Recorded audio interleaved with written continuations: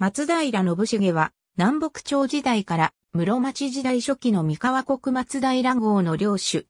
松平氏の発祥地、松平号の基礎を築いた人物とされる。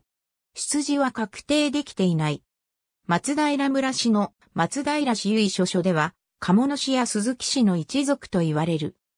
古代氏族系不修正は父、信盛を荒尾持来と同一人物とし、また、荒尾氏は有原野氏の公営のため、信重は有原野氏であったとする。また、陰陽両下ス系図、鴨系図では、信盛の父親は鴨の有信だとする。塩分5年頃に家督を継いだという。常時6年、信盛の菩提書として、アス市出身の官立を解散に、弱上寺を回帰した。信重の家は、キューバや和歌に引いてた、三河国中に知られていた、宇徳人、復帰のものであったとされ、松平近志氏とその配下、石川孫三郎ら一行が、信濃国から、壁海軍境村あるいは、はず軍境里を経て、松平号へ到来した。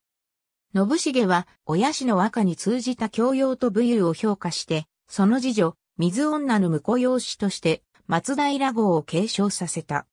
愛知県豊田市松平町、松平号史跡の有原の毛星より、ありがとうございます。